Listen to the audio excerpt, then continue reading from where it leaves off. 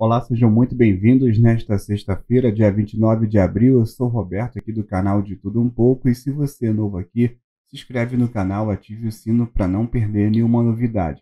E vamos que vamos aí trazendo os bastidores da hora. A notícia que agitou a semana foi a seguinte: o site oficial do Orkut foi reativado na última quarta-feira com uma mensagem do seu fundador, o engenheiro turco.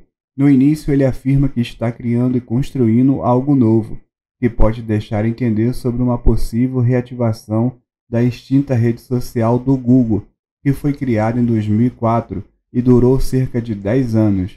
Eu sou otimista, acredito no poder da conexão para mudar o mundo.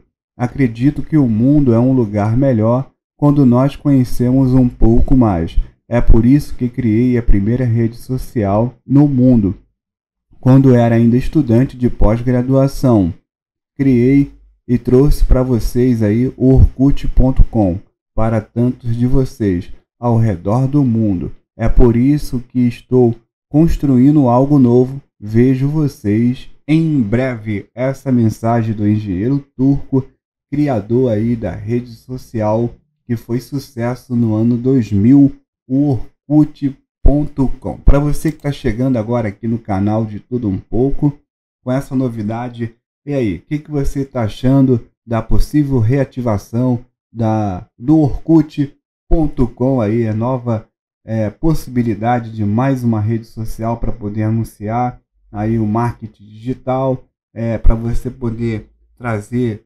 ah, os seus conteúdos. E aí, o que, que você está achando dessa possível é, reativação do Orkut.com? Deixa aqui no canal o seu comentário Deixa aqui no canal a sua participação. Eu fico por aqui com mais um vídeo do De Tudo Um Pouco, nesta sexta-feira, dia 29 de abril de 2022. Um abraço a todos e até a próxima!